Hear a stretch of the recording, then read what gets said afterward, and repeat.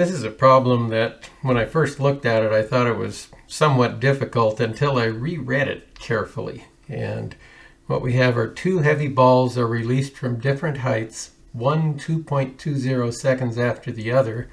If the two balls hit the Earth simultaneously, four seconds after the first ball is released, from what heights were they initially dropped, or were they dropped?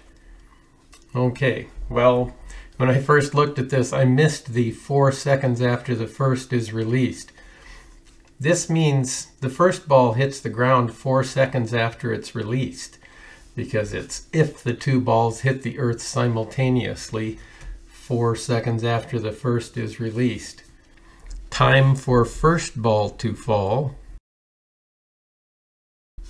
is 4.00 seconds the time for the second ball to fall, it's dropped 2.20 seconds after the first, but it hits the ground at the same time, so it must take 4 seconds minus 2.20 seconds to fall. So the second ball takes 1.80 seconds to fall. They're both released, that's like dropping them, and they're not thrown. So this ends up not being too bad a problem. Now, I can either have down be positive on this thing or I can have up be positive. But I think since all the action is taking place downward, I'm going to let down be positive here. So down is positive, uh, let's see. This can be Y final for ball one. This can be Y final for ball two. And just let where they fall from be Y. I'll use two different coordinate systems actually, one for ball one and one for ball two. Uh, let's see, so this will be Y not one, whoops, Y not one up here. That's where it starts from, and I'll just let that be zero. Okay, and then I'll have this other thing, y not 2, this is for the second ball. I'm also going to let that be zero. Okay. Now, I'll just treat this as an individual problem, the time for the first ball to fall.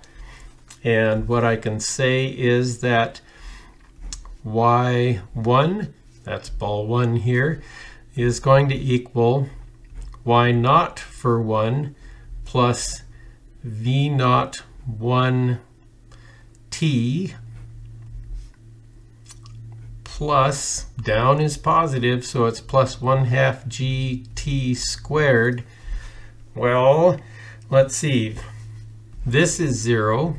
V naught 1 is 0. Remember, it's dropped. This is 0 because I defined it to be for this problem. And I just get the position of ball 1 is going to equal 1 half gt squared.